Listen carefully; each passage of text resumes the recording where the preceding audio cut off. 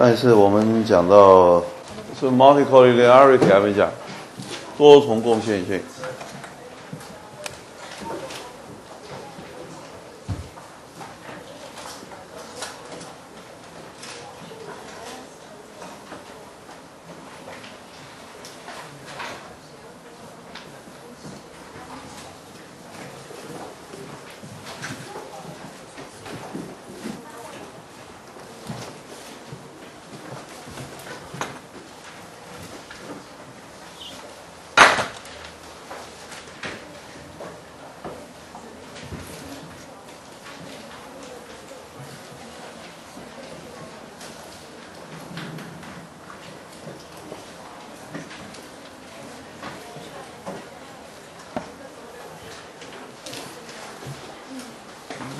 那个门多重共线性的问题是回归里头啊，一个一个地雷啊，它可能呢会影响到你的回归模型。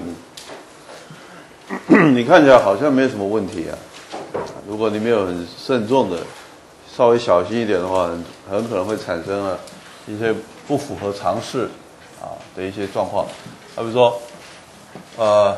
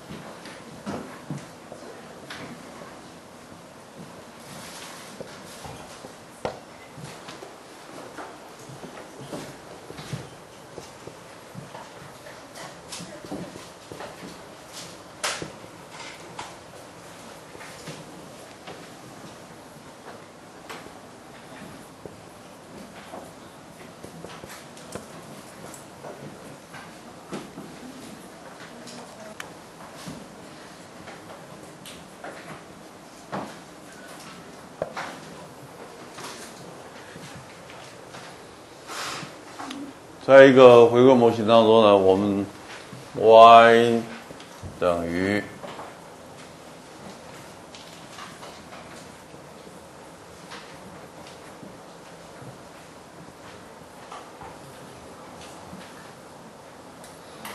像这样的一个模型当中，你有任何两个自变数，两个自变数之间呢，如果有相关系数。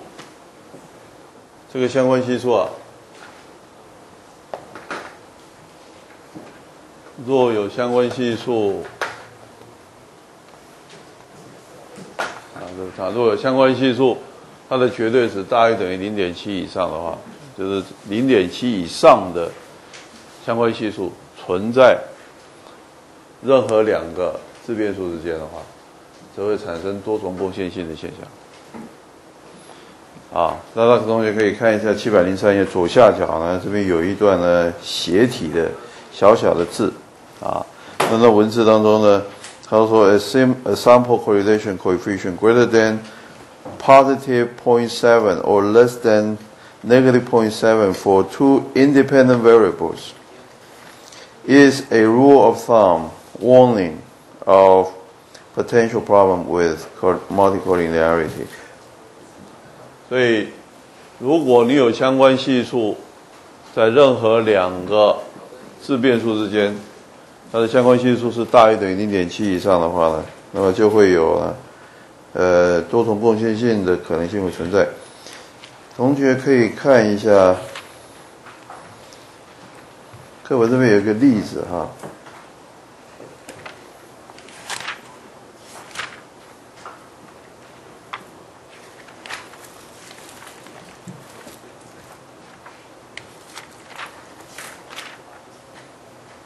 我们看七百七十五页上方那个十六至十三的这个报表，在这报表当中啊，你那个 time potential advertise expenditure share change accounts work rating，这边一共有一二三四五六七八八八个八个变数啊。那么这八个变数呢，呃，跟自己之间呢，彼此之间呢，两两之间呢，都有一个数字，这个数字呢就是 sample correlation coefficient。这所以整个这个矩阵呢是样本相关系数啊。大家看看所有这些样本相关系数当中，除了 sales 不算之外，sales 这个是一个什么？它是一个一变数，啊，它扮演像 y 的角色，sales 是 y，就这个例子来讲的话呢，这个矩阵呢，它是一个样本相关系数的矩阵，啊，在这个矩阵当中呢，你看它这个系数当中有没有绝对值大于等于零点七的？哪两个？徐善策，徐善策讲一下，徐善策讲一下，你一直讲话，讲到都吵到别人了。你没有发觉到吗？哪两个啊？哪两个之间相关系数是零点七以上的？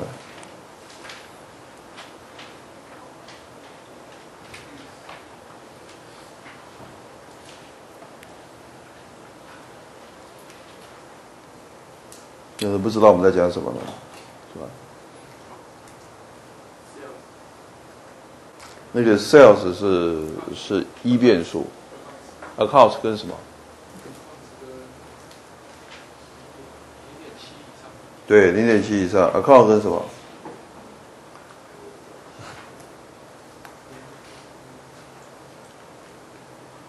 零点七是 Account 跟谁？Account 是水平轴过来。Sales 是一变数，所以我们不谈。我们说任何两个自变数之间。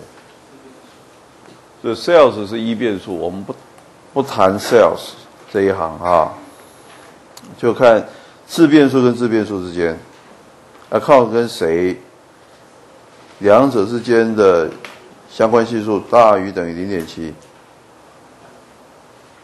，account 跟什么？跟 time 对不对？对吧？啊，那这个像这个例子呢，就告诉你，你从这个相关系数的矩阵上头，你可以发现。啊，哪两个自变数之间呢？它存有呢相当高的相关系数。那只要大概大到超过零点七以上的话呢，那这两个自变数呢就会有相关相关高度相关存在。高度相关的自变数可不可以放在回归模型里头呢？你觉得可不可以呢？就等于说。这个已经解释过一次了，啊，好比说你说 time，假设这是 time，那这个是什么？这是 account。time 跟 account 是什么意思？就这个例子来讲的话，sales 在这里边。这个例子是说的有某一家的公司，他们的营业额啊。他们的营业额呢？Sales 啊，分成好几块啊。你看看，你把你整个市场啊区隔成好多不同的这个块状，不同的区域啊，每一个不同区域就有就有了不同的这边一块，那边一块，每一块里头都有一个那个销售员呢在负责，业务代表在负责。那么每一个业务代表呢，他辖区里头的 sales 的营业额呢，为什么会比较高，或为什么会比较低？啊，那营业额为什么会有高高低各有所不同？准备呢解释它，所以构建一个回归方程式，找了八个可能的自变数。这八个自变数，同学看一下，这八个自变数，拿七百七十五页这边最上方的那个那个矩阵来看的话呢？其实它左下角在十六十六那个 table 七百七十四页那边也有解释了。啊，time 是什么？在公司被雇佣的时间的长短，在公司的资历啊，以月看你有多少个月，来来当做这个一个自变数，叫 time。那么 accounts 来看一下 accounts，number of accounts assigned to the sales representative。这个业务代表呢，有多少个主要的顾客？我们知道哈，每一个顾客啊，都有一个 account。你知道，你你如果跑跑很多的这个顾客，就你是业务代表，他就跑很多厂商。每一个厂商啊，每年每一月每一个礼拜会给你进一些什么货，然后会付给你款项。所以来来往往所有这些活动的记录都记录在哪边？都记录在他那个账户里头。那你有？三百个顾客的话，你就三百个 account，懂吗？所以一个 account 就代表一个顾客。所以你看，你有多少个 account，以及你在公司服务的时间的长短，这两个自变数啊，都可以用来解释呢，为什么你在公司，呃，为什么你在营你的辖区里头，你营业额会有那么高或者那么低？假设你是个新手，你的时间很短。那你的顾客数也很少，那很有可能就会造成你的营业额会比较少，是吧？所以这个回归模型是要建立说的，我们用这八个自变数，哪八个自变数啊？像这边所讲的这个 time O T N potential，potential 是 market potential，是你这个区域的它的市场的潜在啊潜在力啊。还有多少还没开发的空间啊？是那个意思。ADVEXP 的就是 Advertise Expenditure，就是你呢，呃，在你这个你作为业务代表，你有权利的去决定你要花多少钱在你这个区域里头做行销广告。所以它是行销广告的，它是广告的消费额。Share 是公司的产品在你这个区域里头的 Market Share，你的呃市场占有率啊。看你市场占有率有多高啊？Change 呢，就是你在过去的四年当中呢，你的市场上有产生什么样大的变化？变化幅度大不大？变化幅度如果大的话呢，也会影响到你的营收啊。那么还有一个原因是 Accounts，就是你呢在这个区域里头，你的顾客数有多少？那么 work 就是你在公司里头的这个所承担的工作的分量，它会影响到你的营业额。如果你分量太多的话，那它会影响到你做业务的时间。rating 呢，是你在公司里头服务的那个评价的高低、评鉴的好坏。所以拿这八个啊，八个 sales 就是一变数 y 啊，那么其他当中都是 x，都是自变数。拿这八个自变数。看有没有办法建构一个呢？一个可以用的 R square 相当高的啊，而且相当精简的一个字一个回归回归方程式。那么就这个例子来讲的话呢，你看自变数呢有 time account，还有其他的像啊 advertise expenditure 啦啊 change 啦 market share 啦 potential 啦等等这些东西。所有这些自变数如果全部把它放进去的话呢，有一个问题产生了，就是。time 跟 account 这两个自变数啊，高度相关，相关系数高达零点七五八。刚刚请许善社讲过啊。那么零点七五八的相关系数的这两个自变数，如果同时放进去的话，就产生我们这边所谓的多重贡献性的问题。多重贡献性会产生什么问题呢？我们现在回到我们刚刚十五章的那个地方来谈。如果你有多重贡献性，的问题产生的话，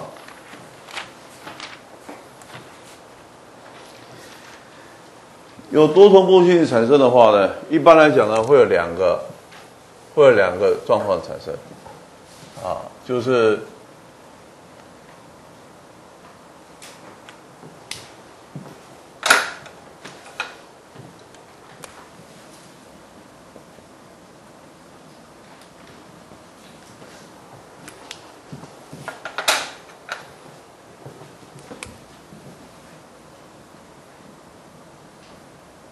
自变数前的系数可能会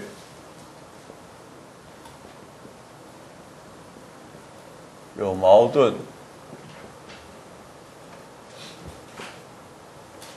现象产生。这是什么状况呢？举个例子来看一下啊，就我们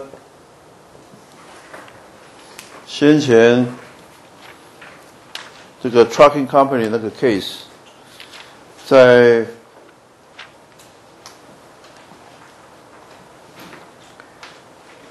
大家看一下六百八十九页，我们一趟卡车出去花多少时间？结果我们跑出来的结果，大家看一下六百八十九页最上面那个十五至四的那个报表里头显示，时间呢这一趟路会花多少时间？是来自于负零点八六九加上零点零六一一 mile，mile 是一个自变数，零点九二三。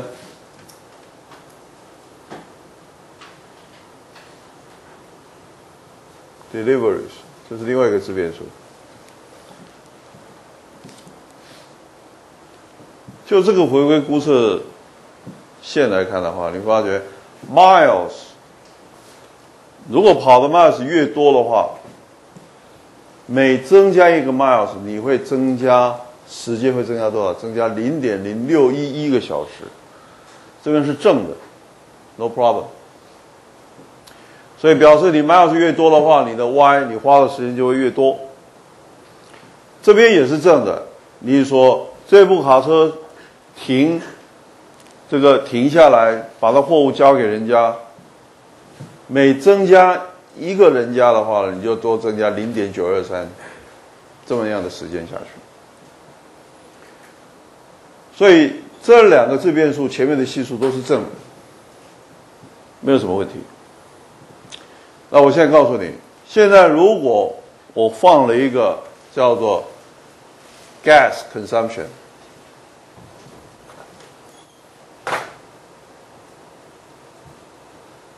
我要写中文好，耗油量，我把一个新的自变数耗油量放到模型里头去，我变成三个自变数了。一个是里程，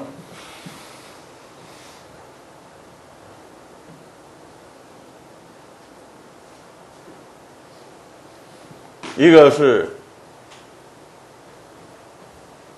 停靠数，停靠的次数，一个是耗油量。同学，我加了一个自闭数下去，我去跑，我很可能会跑出啊。假设是这样的啊，是这随便周的啊，零点一二三，这里头可能会产生是负的，耗油量越多，居然时间会越少，因为是负的，所以我每增加一公升的耗油量，就居然我的时间呢会反而会减少，你懂意思吗？因为这个是负的，其他都没有问题，这是负的，矛不矛盾？有没有矛盾？就是产生矛盾现象，产生违反常识，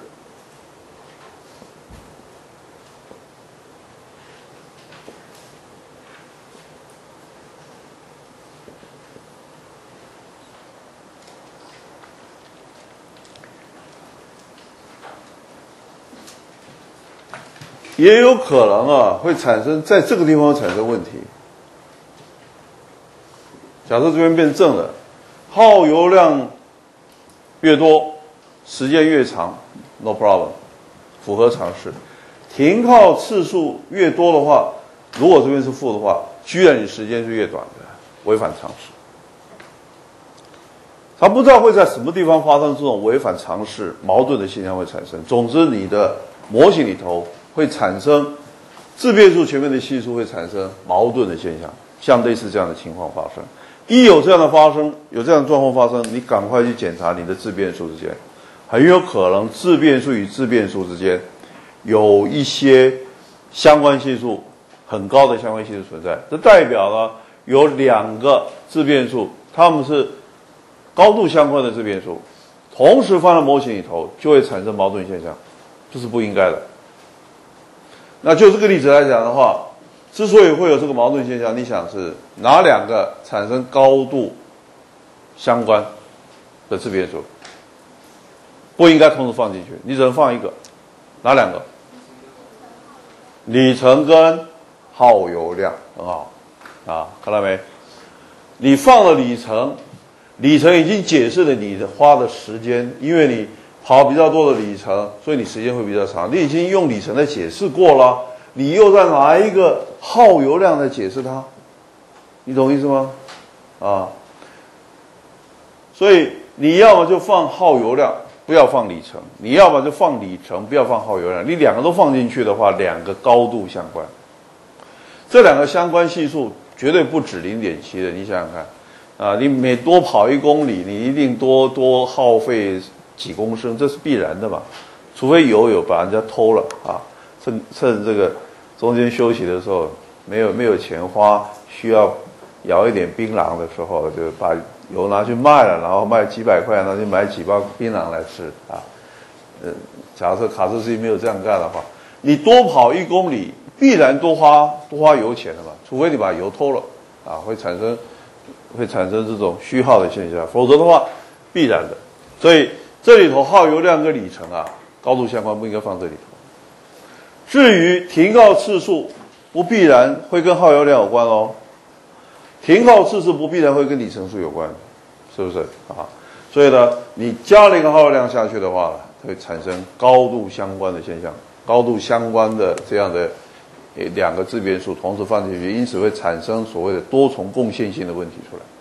因此在这里头呢，耗油量不应该放进来。构成的多重共线性的的一个状况出来。第二种可能会产生的问题是什么呢？就是 T 减定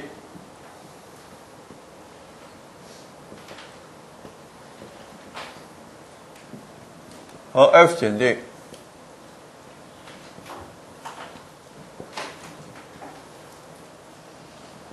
可能有。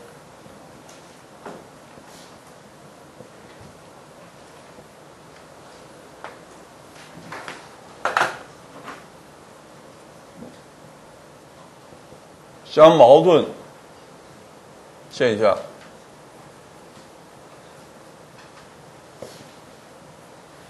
产生，好比说，呃，贝塔方等于零，拒绝；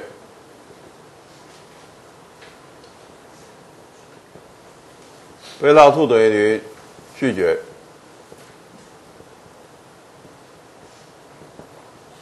贝塔 one 等于贝塔 two，都等于零。Do not reject。我们都知道，这两个都是要靠 T 检定，个别的是做 T 检定，两个一起做的这是什么？F 检定。F 检定居然不能够拒绝两个同时为零，至少有一个不等于零。可是个别去检定的时候，居然发生了这个等于零被拒绝，换句话说，贝塔 one 不等于零，对不对？啊，拒绝的就贝塔 one 不等于零，贝塔 two 不等于零，贝塔 one 不等于贝塔 two 不等于，怎么会说不能够拒绝贝塔 one 等于零，贝塔 two 等于零？所以 T 检定跟 F 检定是不是相矛盾？懂这意思吗？如果产生类似这种状况的时候，赶快回去看你的自变数，一定有某些自变数高度相关，产生多重共线性这样的状况产生。有没有问题？所以呢，才会特别强调呢这个概念。所以以后呢，你们就放自变数的时候，回归大家经常在用，那经常在用的时候呢，呃，要小心啊，你的自变数之间呢，要先去检验一下，看他们彼此之间的的这个相关系数。像我刚刚秀给你们看十六章的那个很大的那个那个问题啊，sales 的 representative 那个 case 呢，去看看人家的相关系数的矩阵，看看里头有没有超过零点七的。哎，负零点七五八可不可以算？也算了，因为它讲的是绝对值，绝对值大于零点七以上的，大概都要小心了哈。到了零点七也就要小心了，好不好？以上呢是谈呢这个 multicollinearity 的问题。我们上回 F 检定、T T 检定都讲了没？F 检定你看看一下，七百页这边十五至十四，一开始呢这边就讲你的 F 检定是由 MSR 去除以 MSE 的，检定的内容是什么？H 零是什么？所有的贝塔都等于零，所有的贝塔如果都等于零，那代表你这个模型是 fails。你这个模型是完全错误的，啊，你所放的自变数没有一个是应该放在这里头，你整个模型垮。这是 F 检定，所以 F 检定是对整个模型的一一期一次去做了它的检定，啊，这是 F 检定。那么 F 检定呢，你可以看它的这个七百零一页，像七百零一页，你可以看它这个报表底下一个 F F 的值是不是三十二点八八？是不是三十二点八八？那三十二点八八右手边那个 p value 是不是零点零零零？是不是 p value 是不是很小？代表你现在的 f 检定的结果一定是什么？p 值很小代表什么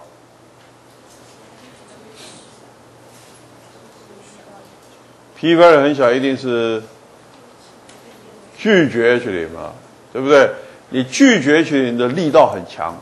支持 H 零的力道非常的薄弱，所以呢，p value 可以解释为支持 H 零的力道。啊，以前我们第九章在谈的时候，我们就提过这样的概念。怎么样去解释 p value？p value 就是支持 H 零的力道。那么那么小的力道，换句话说，那一定是什么？一定是拒绝 H 零。支持它的力道很小，所以一定是拒绝。所以你看，这 F 减定是拒绝的。拒绝哪一个 case 啊？拒绝的 trucking company 这个 case，在这个 trucking company 里头呢，我们说 miles 跟 deliveries 这两个 variable 同时放进去，可以得到 r square 值九十点四这样的一个状况。那么整个模型 fails 掉，两个 beta i 都等于零，这是严重被拒绝的啊，f 值非常的高，所以这绝对不会是这样的现象。所以这是 F 检定的结果。那么翻过来我们看七百零二页。十五之三的 table 里头的话呢，告诉我们，啊，在这个 table 里头，SSR、SSE、SST，这是分别是 regression，sum square due to regression，sum square due to error，sum square due to total，total sum squares。那 degree of freedom，上一次是不是谈到 SSR 的 degree of freedom 是 P？有没有提到这个 case？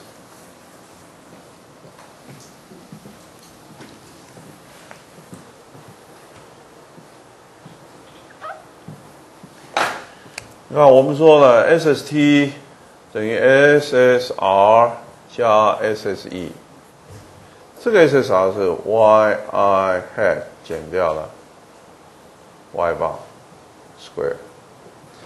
大家看这个这个 Y hat 事实上是 V 零加 V one 乘以 x 1一直加加到 VP 乘以 XP，多少个系数决定了你这个 Y 的值。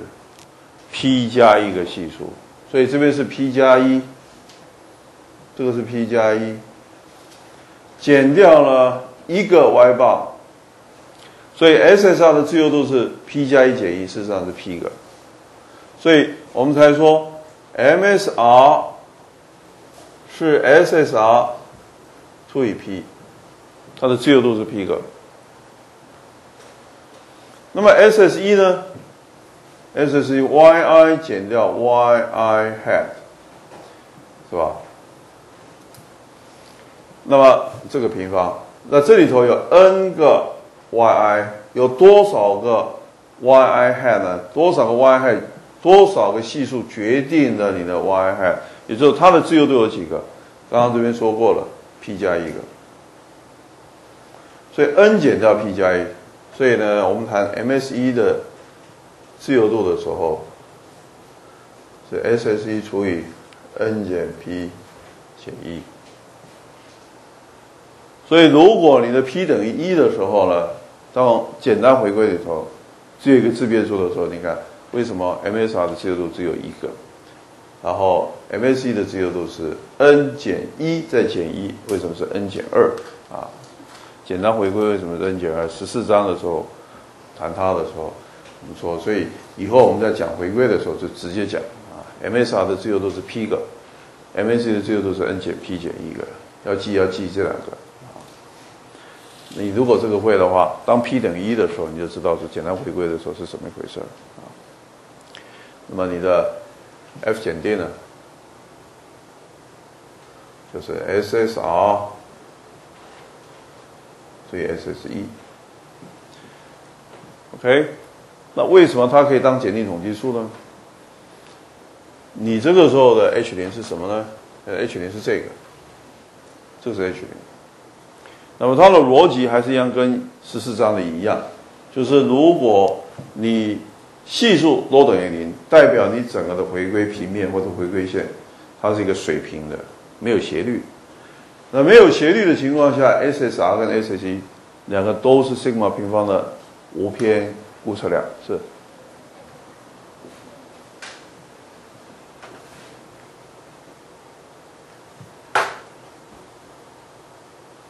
这样对哈啊？OK，所以。MSR 除以 MSE 这两个相除的比值会约略等于一，为什么？因为当 H 零为真的时候，两个都是 sigma 平方的无偏估测量。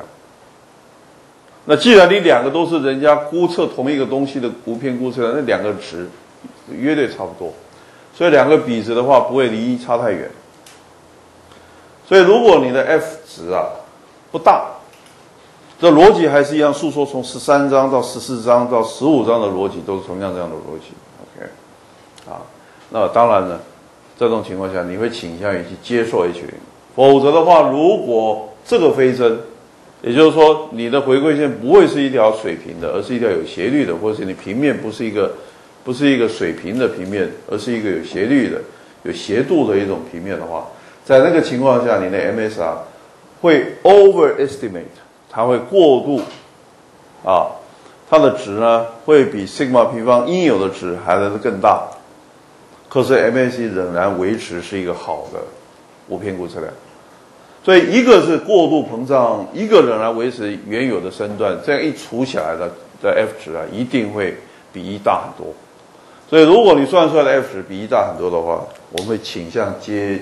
会接近于说呢，会倾向于去推翻、拒绝 H，所以这个逻辑啊，以前我们在讲过了啊，所以现在还是一样的，跟各位把这个概念带到为什么我们要用这个东西当做 F 检定的检定统计数。那么至于 T 检定的话呢，十五至十五那个式子，每一个个别的。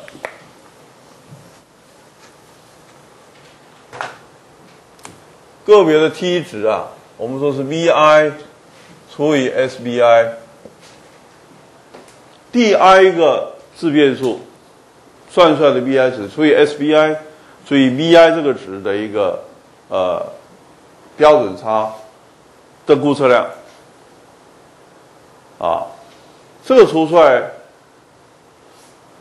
我们去跟什么做比较？你看它右边的 p value，或者是呢去找呢？T table 看它的自由度多少个？这个时候的自由度是多少个？就看你这个 S 的自由度，你取代 sigma 的这个自由度，取代 sigma 的这个这个这个东西的自由度，我们用什么东西取代 sigma 平方？MSE。所以 T 的自由度还是一样，MSE 的自由度，MSE 做的是 N 减 P 减 E，所以 T 这个时候的自由度是 N 减。P 减一的自由度，这我想大家都应该相当清楚了啊！老师再再度再强调一次，同学可以练习看一下七百零一页上方那个十五至六的那个报表。同学，你看一下，我们就两个自变数 miles 跟 delivery 来讲的话呢，两个 t value 呢都算出来，一个是六点一八，一个是四点一八。六点一八是前面的零点零六一一三五去除以零点零零九八八八，你自己去除除看，你就会有有比较强烈的信心。啊，如果你信心不太强，你去做最笨的工作、最扎实的工作，自己去除除看，每一个动作你就自己做一次，你就会相信，啊，会相信自己所看到的、所想到的、所听到的，所以除过来是六点一八倍。所以显然呢，它够大了，因为它右手边的 p value 非常小，所以这是可以拒绝的。Delivery 这个 variable 是零点九二三四除以零点二二一一，除出来是四点一八倍。右手边的 p value 也是零点零零四，也是相当小，所以这两个情况都是可以拒绝的。就是贝塔 one 等于零可以被拒绝，贝塔 two 等于零可以被拒绝。这是有关我们在 T 减定 P。F 检定的时候，我们所谈到的东西，以及 multicollinearity 的概念啊，有没有什么问题？哎，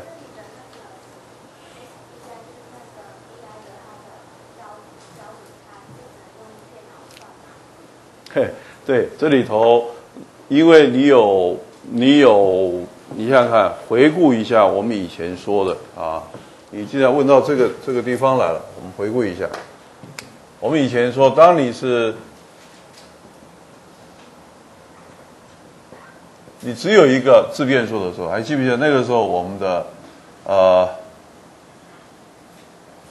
sigma v one 是什么？还记得吗？sigma 除以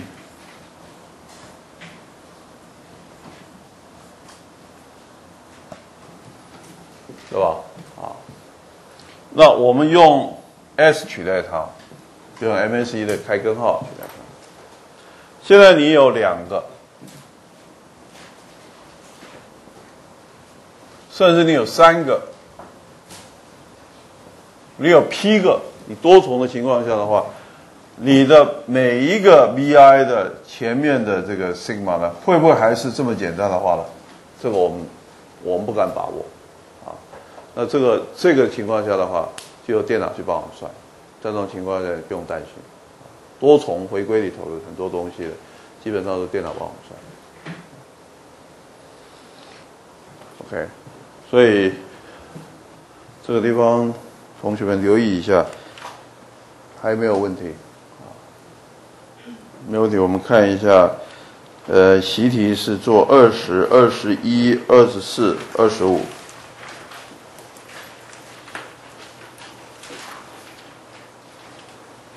二十二一、二四、二五，啊，我们看十五之六这一节呢，七百零六页底下呢，来看看我们说，你可以用你的回归方程去做 estimation 跟做 prediction。同学初统的情况下呢，同学要把一些概念把它搞清楚啊。英文上头所谈的回归里头所谈的 estimation 跟 prediction 的概念，这两个概念要把它弄清楚。estimation 是去 estimate 某一个东西，好比说呢，你说呃，我们估计。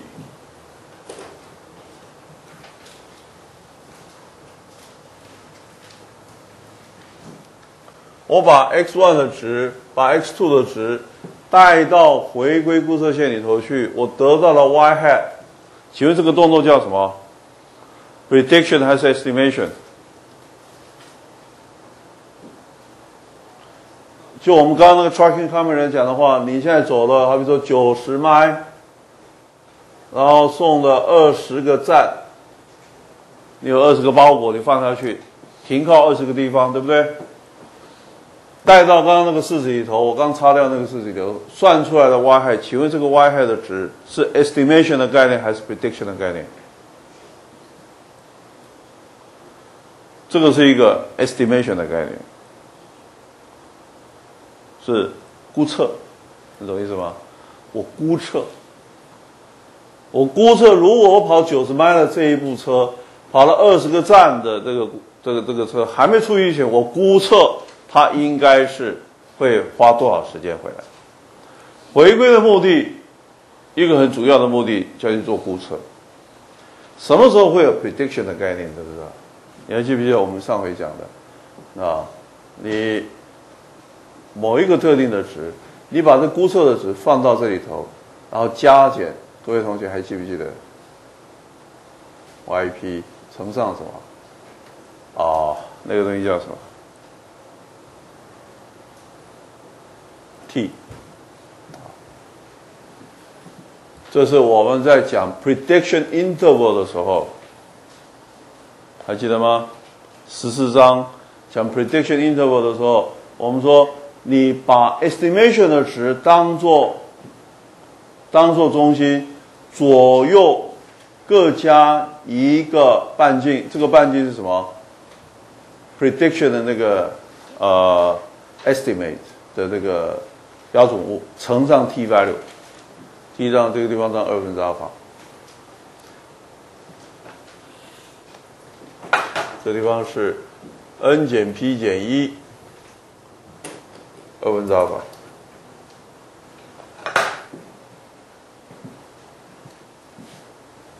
这个式子，同学可以回顾一下十四章的。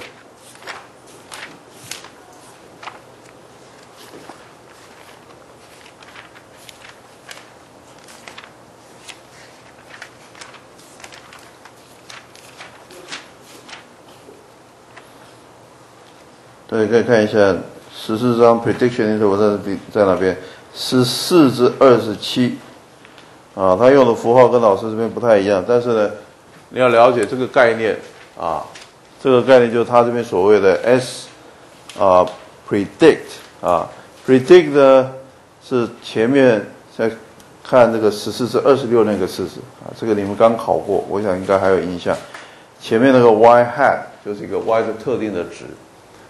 这个情况下需要去 predict，说呢，你真正的值会出现在哪里？这个概念是什么意思？大家还记得？你看，你真正的值啊，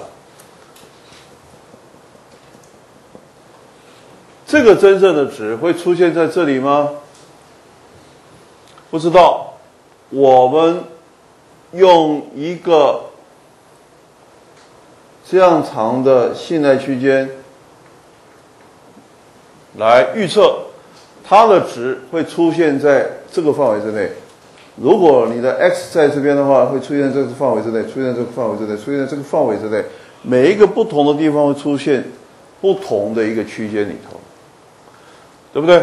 我们在先行讲 prediction interval 那个时候就在讲这个概念，就是说你到底下一次的 y，你估测你不这个地方不讲。估测了，叫预测。你预测 y 会出现在什么地方？所以这种概念，真正 y 的值会预测会出现在哪一个范围之内？你给它一个信赖区间，你说它预测会出现在这个范围之内，不不外这个范围以外。这种概念就是预测。如果你给我一个 x 值，给我 x 值带到回归里头去得到一个 y hat 值的话，这个叫什么？这个叫估测，所以一个是 estimation，一个是 prediction，这两个概念再强调一次啊，因为他这边既然提到了十五至六这一节，同学你看一下十五至六右手边七百零七页上方那个 table 里头，就在告诉你，你给我不同的 x one 跟 x two 的值，我都可以帮你算一个呢 confidence interval 出来。也可以帮你算出 prediction interval 出来，啊，confidence interval 是对 expected value of y 而言的，prediction interval 是对 y 而言的，所以这两个 interval 是不一样的概念，啊，那么特别的是 estimation，跟各位同学强调，estimation 是你去这个带一个值进去，得到一个 estimated value，predictive value 呢是用信赖区间去预测它到底呢会得到一个什么样的值。在哪一个范围之内？所以这一节只是在强调说呢，你一样可以用十四章的那一些方法了。呃，但这个地方当然你就不需要算了，这个地方当然都用电脑帮你跑了啊。那你一样可以去做所谓的 estimation 跟 prediction。啊，有没有什么问题？是。刚刚讲那个贡献性的第二个 T 检定和 F 检定会产生矛盾。嗯哼。然后老师举例是可能会像是 F 检定不拒绝，就是变水平线，然后 T 检定拒绝。可是如果它 F 检定是拒绝，然后每个变数都跟那 Y 没有关系，那就算那些变数之间有贡献性，不是依然跟 Y 没有关系吗？为为什么 Y 会变成那个拒绝？不，就是 T 检定为什么会变拒绝？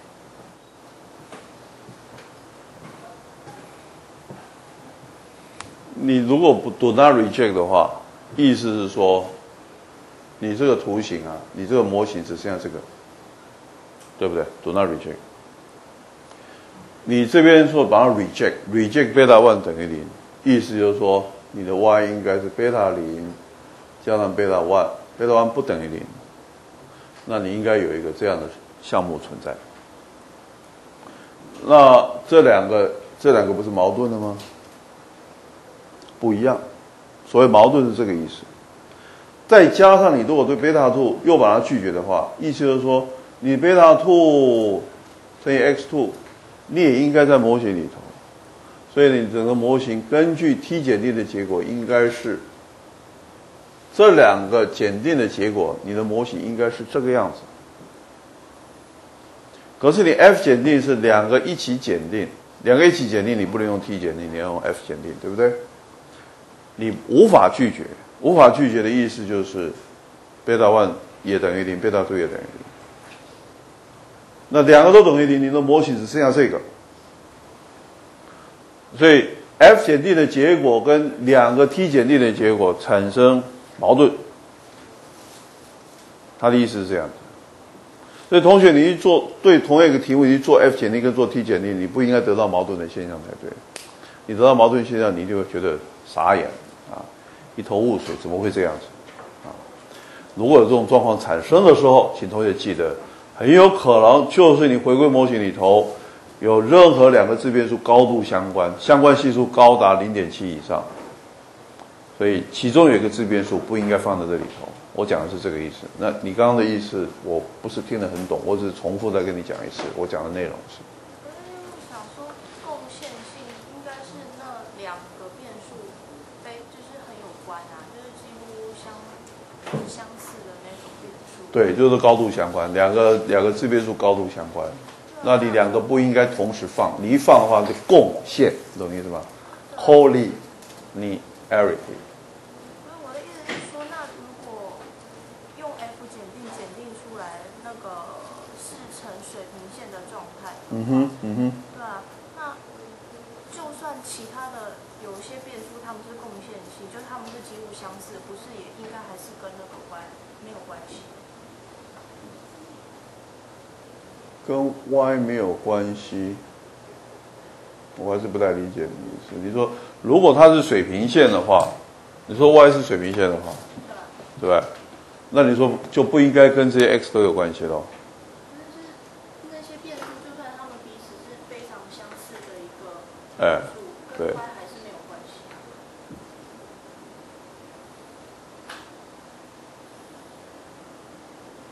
你说我如果是检查是这个样子，那我的 x 这些自变数，就算有贡献性，我不太理解，不太理解。你你待会再来再来说。我们先下课吧，好，OK，来。